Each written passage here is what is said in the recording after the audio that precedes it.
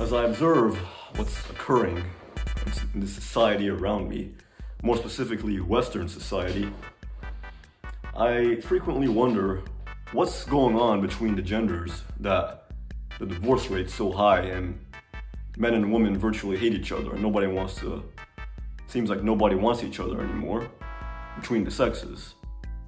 And while I do criticize women a lot, I also think there's some problems with the men.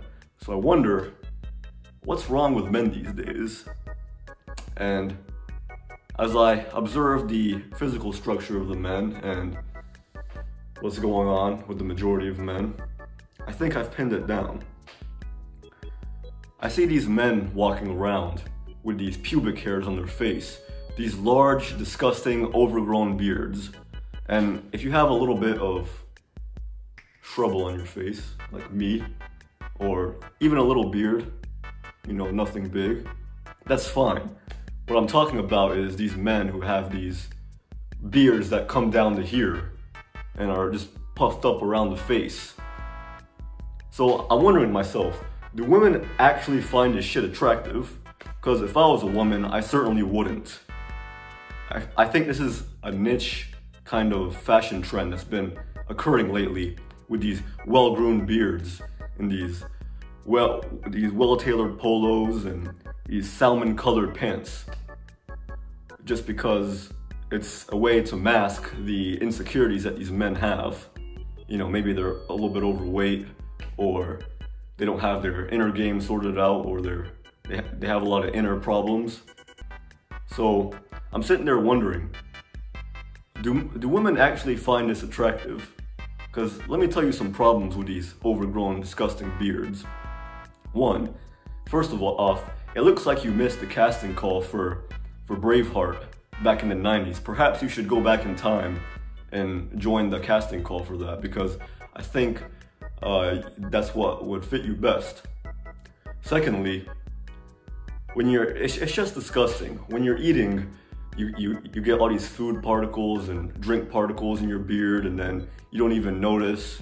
Even with my buddies who have this kind of fashion style, you know, I'm just sitting there wondering, wow, this guy's completely oblivious to this disgusting mess uh, on his face. And the, and the lady, you know, women by nature don't rebel, they just go with the flow. So they have to sit there looking at this while on the date. How disgusting and awful is that? And then you have these food particles that get in there and they collect bacteria and then they uh, cause problems when you're making love and it probably smells terrible. Goddamn cat outside. The hell is that?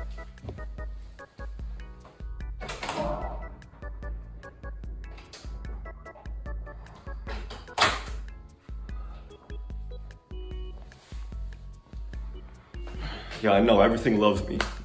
Because I'm, I'm the real deal. That's why the cat's here, because I'm the real deal. But, anyways, where was I?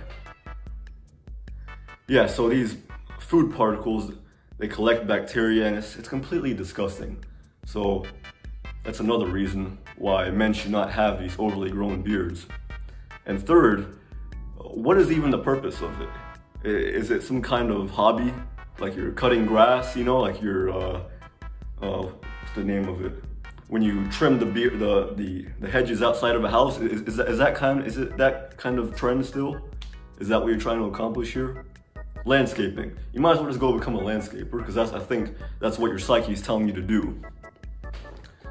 So that's another reason. And it just looks terrible. You know, you, you can't see your jawline. You can't uh, see you can't, it, it covers most of your face. You know, it's just, from my personal experience, I don't even like dealing with pubic hairs on ladies. So why would I want it on a man? If I was a lady, why on earth would I want pubic hairs on my man's face that I have to put up with when I'm kissing him and making love with him? So, men, stop doing this shit. Get your life in order. Stop fucking with your life. Stop being a loser.